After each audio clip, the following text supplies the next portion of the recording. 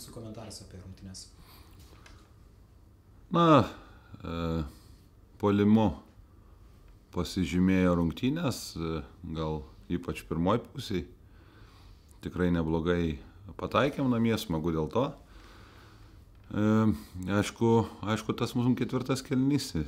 Mm, Atėdami iniciatyvą ir labai sunku yra, mm, sunku buvo perlaužti ir atrodo, kai dar tas momentas buvo, keletą laisvi, tritaškių visai nepataikėm ir, ir, ir galėjo pakrypti kitaip, bet uh, tas skirtumas nėra, nėra didžiulis, taip ir, ir uh, reikės, reikės, čia aišku, po ilgesnio laiko bus tos antros rungtynės, reikės visais įmanomais būdais atkovoti, bandyti atkovoti tą, tą prarastą persvarą. Petrilevičiaus ir Kisėliaus nebuvo, keturi žaidėjai rungtyniavo daugiau kaip 30 minučių, kiek tai atsiliepia rungtynių pabaigoje? Neatsiliepia.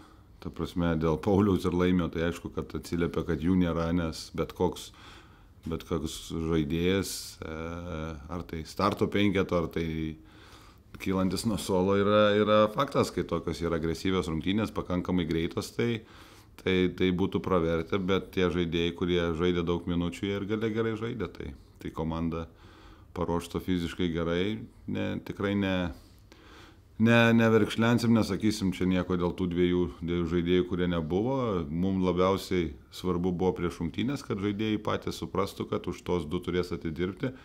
Maikui gal yra dar sunku tik atvykus vieną dieną prieš iškart ir duoti apčiuopimus naudos, nesakau, kad jis nedė, bet tos, tos keturios klaidos jo buvo matėsi iš to, kad nelabai pažįsta komandos ir atrodo ir, ir, ir tokių, tokių bandė perdavimų atlikti, kur mums mum geriau jų netlikinėti taip.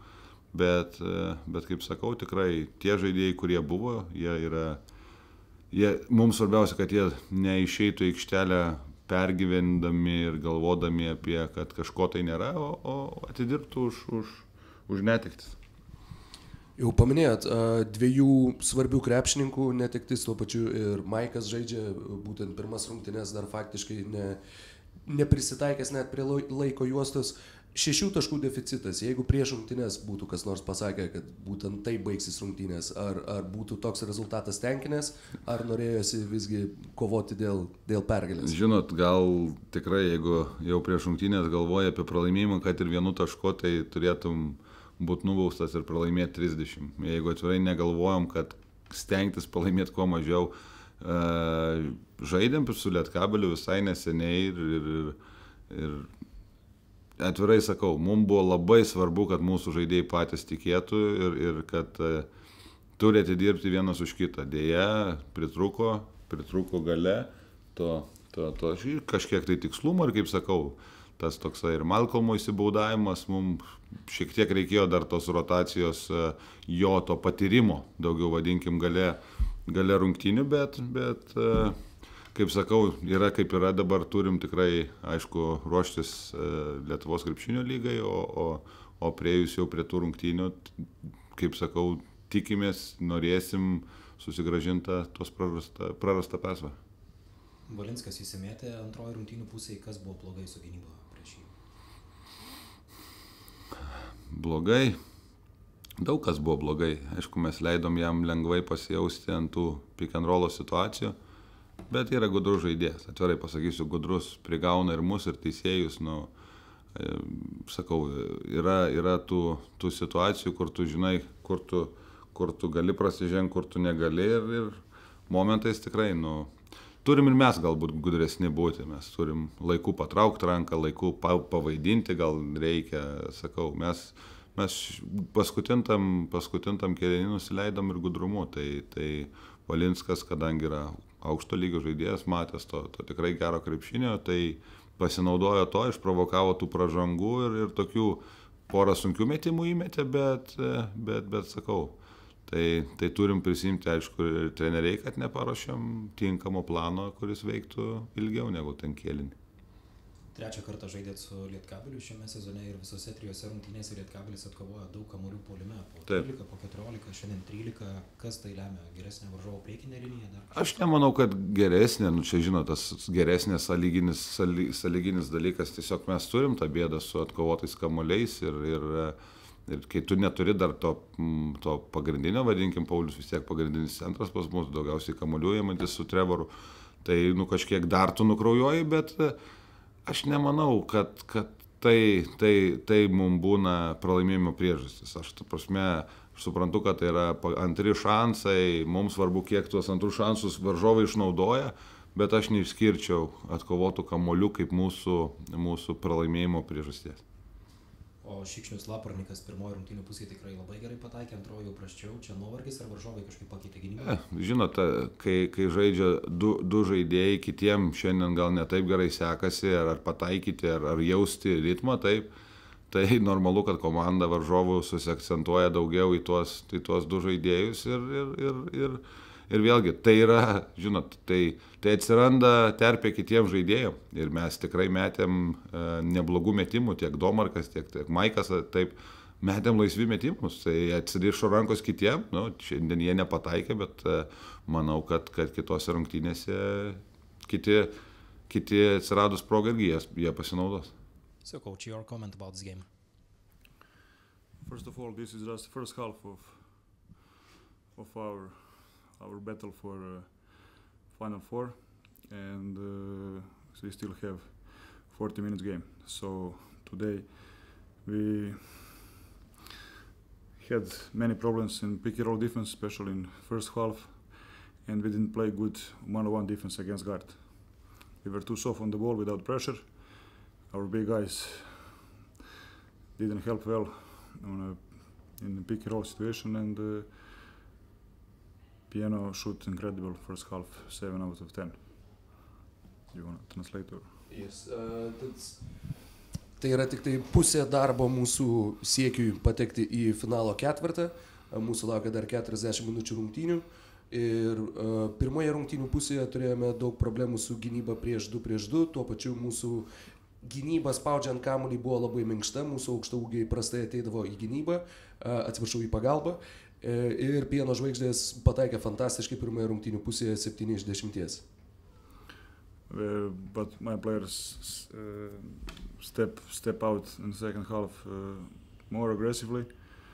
We solved that problems in, uh, in pick and roll defense. We controlled the rebound, and uh, again we had uh, we had uh, many offensive rebounds. I don't know exactly now, but yes, and uh, that was that was key for today. But uh, like I said, uh, nothing nothing is over. We still have play against very good team, 40 minutes in in our gym.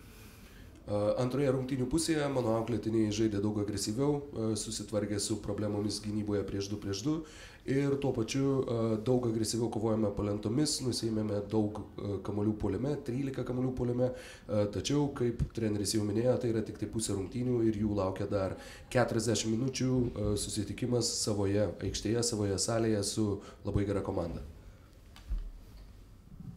Coach, what do you think about Paulius Valinskas performance in, in the second half? this is a question maybe not for me. I know Paulus very well, and I didn't change my opinion about him. He player who, who, who likes basketball, who practice hard, and we must be patient, patient with him and uh, wait, wait, wait, wait for him. He didn't play in the beginning of the season, in pre-season, and uh, for sure it, it wasn't real to to to expect that he will show everything in in, in first two three months.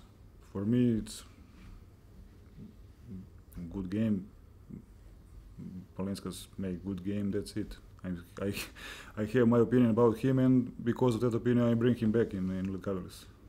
Tai šitas klausimas turėtų būti ne man, aš Paulių pažįstu puikiai, žinau, kaip sunkiai jisai dirba treniruotėse ir e, atsižvelgiant į tai, jog jisai nežaidė sezono pradžioje, nežaidė iki sezoninėse rungtynėse, sunku būtų tikėtis, jog jisai parodytų viską, ką gali per pirmus 2-3 mėnesius, tačiau aš žinau, e, ką gali Valinskas ir tai yra priežastis, kodėl aš norėjau jį susigražinti ir matyti jį ir vėl rungtyniauti Lietkabilije.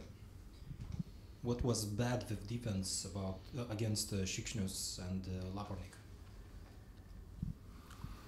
Šičius open some open game with some uh, easy three point shot. They, he, he, he, he become uh, more confident. First of all, because we were lazy in defense.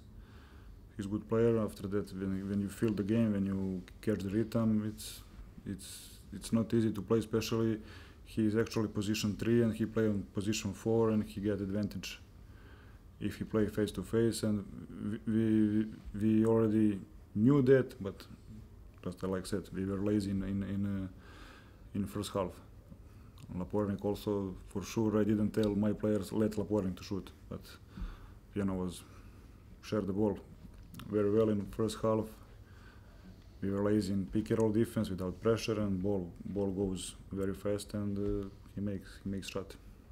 Šikšnius pradėjo rungtynės pataikydamas keletą labai lengvų metimų, kadangi mes tingiai pradėjome susitikimą gynyboje ir jis įgavo pasitikėjimą savimi ir vėliau buvo labai sunku jį sustabdyti. Juo labiau, kad jis yra labai geras žaidėjas, jis yra trečiojo numerio lengvojo krašto pozicijos krepšininkas.